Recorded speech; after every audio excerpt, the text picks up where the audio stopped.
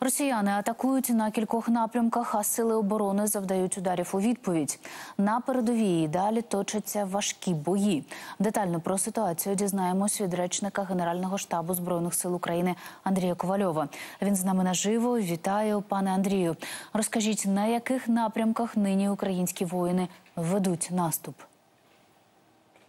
Доброго ранку, Анастасія. Слава Україні.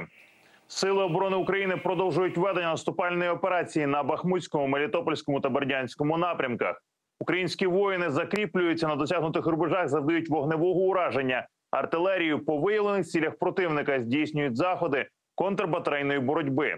В напрямку Старомайорське мали успіх, закріплюються на досягнутих рубежах. Противник продовжує чинити потужний опір, здійснює переміщення підрозділів та військ, застосовує резерви. Е, на Бахмутському напрямку наші війська продовжують вести наступальні дії північніше та південніше міста Бахмут. В ході ведення силами оборони наступально-штурмових дій противник вимушено відійшов з позиції в районі Андріївки. Сили оборони України продовжують стримувати наступ російських військ на Куп'янському та Лиманському напрямках. Противник проводив безуспішні наступальні дії в районах північно-західніше Оріхово-Василівка, південніше Іванівського та західніше Кліщіївки.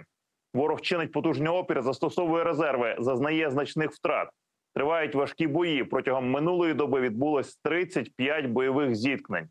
Сьогодні вночі Російська Федерація завдала чергового авіаційного удару іранськими ударними БПЛА шахет 136 131 по Україні. Інформація щодо наслідків цієї терористичної атаки наразі уточнюється. Протягом минулої доби ворог завдав одного ракетного та 72 авіаційних удари, здійснив понад 50 обстрілів з реактивних систем залпового вогню по позиціях наших військ та населених пунктах. На жаль, є загиблі та поранені серед дітей та цивільного населення, руйнувань та пошкоджень зазнали портова інфраструктура та пункти зберігання зерна на півдні України, житлові будинки та інша цивільна інфраструктура. Пане Андрію, скільки загарбників знищили українські воїни?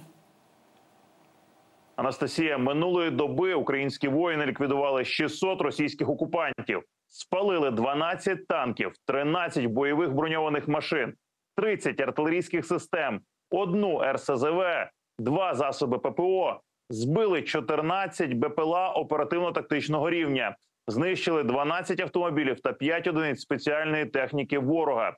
Також за добу на що минула підрозділи Сил оборони України уразили 5 пунктів управління російських окупантів, 9 зенітно-ракетних комплексів, 9 артилерійських засобів на вогневих позиціях, 4 станції радіоелектронної боротьби, 8 районів зосередження особового складу, озброєння та військової техніки противника.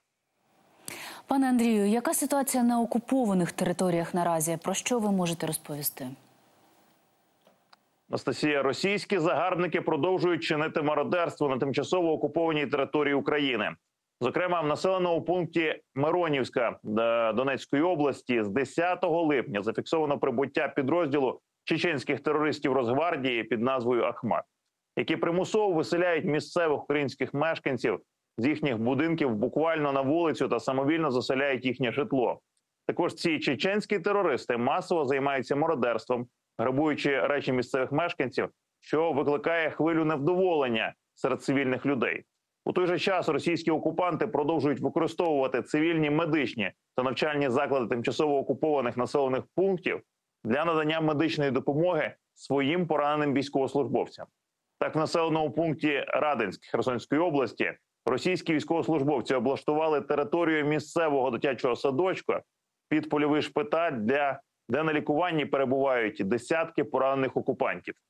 Вірте у збройні сили України. Ми переможемо. Слава Україні! Героям слава дякую вам. Це був речник Генерального штабу збройних сил України Андрій Ковальов.